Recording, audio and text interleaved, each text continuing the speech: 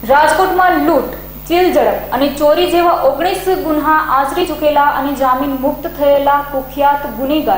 સુરેશ ઉર્ફે સુનિલ ઉર્ફે ચોટો હરિભાઈ બાબરિયા ઉંમર વર્ષ બત્રીસની ત્રણ દિવસ પહેલા નાણાવટી ચોકમાં થયેલી ચીલ ઝડપમાં યુનિવર્સિટી પોલીસે સીસીટીવીના આધારે દબોચી લે સાગરિત પાર્થ ઉર્ફે બાવ કનુભાઈ ખાચરની ધરપકડની કાર્યવાહી હાથ ધરી હતી. આ રીઢો ગુનેગાર અગાઉ ઓગણીસ ગુના આચરી ચૂક્યો છે અને આ સમગ્ર કામગીરી police inspector R S Thakar, police sub inspector M V Rabari કરી રહ્યા છે.